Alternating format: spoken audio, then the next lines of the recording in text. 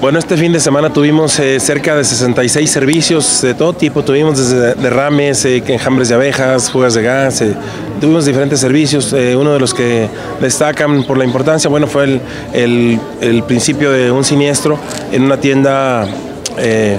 Una tienda que se encuentra en Patoni, 20 de noviembre, una tienda muy, muy grande y que afortunadamente este, eh, recibimos la llamada a las 17.43, re- llegó, llegó nuestra primera unidad a las 17.46.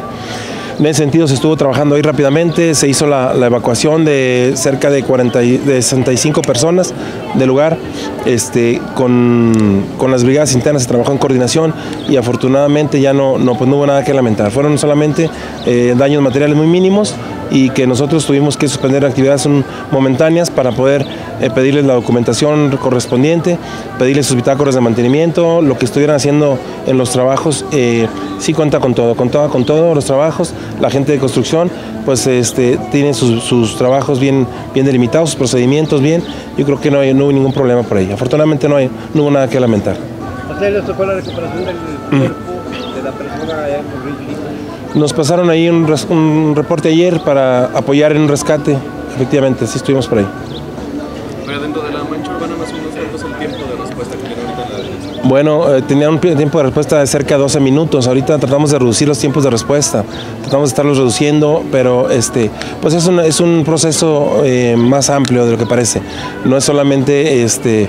No es solamente los tiempos de respuesta, sino detrás de eso hay trabajo con el personal, hay trabajo de mantenimiento preventivo de los vehículos, hay trabajo que tiene que estarse realizando y que ahorita estamos haciendo ese tipo de labores para poder reducir un poco los tiempos de respuesta. ¿Cómo se encuentra ahorita el parque vehicular? Pues tenemos algunos vehículos ahí este, eh, en mal estado también, por qué no decirlo, pero también tenemos para responder de momento. ¿Y se tiene el presupuesto para arreglar? Estamos viendo el tema ahorita, eh, yo creo que en estos días ya entran nuestros vehículos. Estamos programando vehículos para mantenimiento y este, probablemente ya esta semana entren ya. ¿Cuántos se encuentran?